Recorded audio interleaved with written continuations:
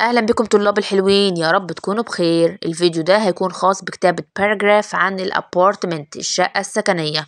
وبرضو لو قال لي اكتب عن your home المنزل فبرضو نفس الجمل هتنفعني جدا.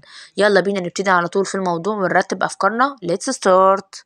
رأس السؤال هيقول لي إيه؟ Write a paragraph of 40 words using the following guiding elements. يعني اكتب آه، موضوع من 40 كلمة. لو قال لي عدد كلمات okay. لو قال لي سبع جمل okay برضو.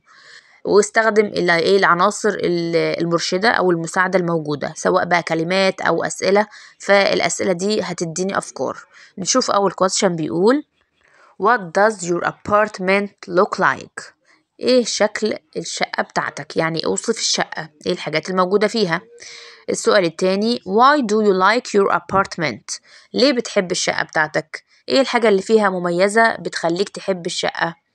okay قبل ما أكتب ال paragraph إحنا عارفين إن أول line أول سطر بسيب فيه مسافة مسافة كلمة صغيرة كده بسيب إيه ما بكتبش فيها أول سطر بس وأول أول الجملة بيكون حرف capital آه لو اسم دولة هيقابلنا اسم مدينة فبنكبر برضو أول حرف في اسم المدينة أو اسم الدولة.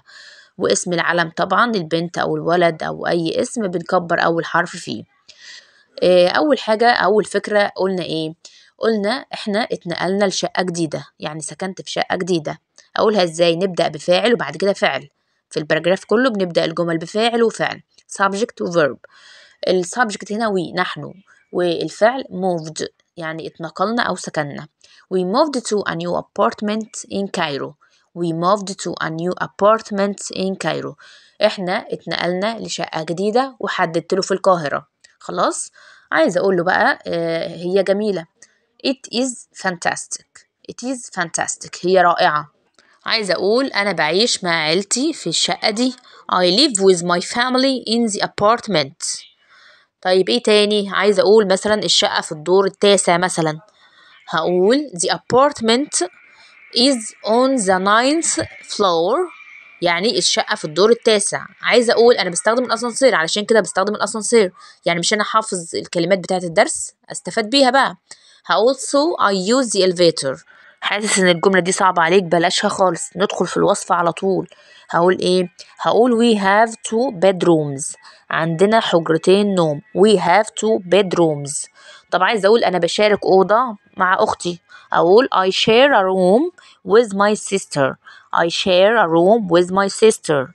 طيب إيه تاني؟ ندخل على ال living room حجرة المعيشة بيكون فيها TV هقول there is a TV يوجد آه، تلفزيون. آه، there is a TV in the living room. في حجرة المعيشة. آه خلاص ممكن أقول في cushions. There are nice cushions cushions in the living room. خلاص بس أنا اكتفيت بالتلفزيون فهقول there is a TV أنا بديك بس أفكار. طيب إيه تاني؟ ممكن أدخل بقى على إيه؟ هقول ال- الوصف بتاعها الأكبر اللي هي كبيرة. The apartment is big الشقة كبيرة so I like it. علشان كده بحبها. The apartment is big so I like it. بعد كده ممكن أدخل على البلكونة أوصف البلكونة. We have a nice balcony. عندنا بلكونة جميلة. We have a nice balcony. آه طيب بنعمل إيه في البلكونة بشوف منظر جميل I can see a great view I can see a great view from the balcony من البلكونة ممكن كمان أكتب عن ال bathroom هقول عندنا uh, two bathrooms we have two bathrooms uh, I can have a shower in the bathroom آخر وصف ممكن أوصف ال kitchen the kitchen is big المطبخ بيكون كبير and we have a nice uh, أو أو modern uh, oven. عندنا فرن حديث in the kitchen. ممكن أزود كمان أقول my mom uses the oven to cook in علشان تطبخ فيه. يعني الأفكار عندنا كتير بس نركز في الأفكار والجمل الموجودة في الفيديو ده.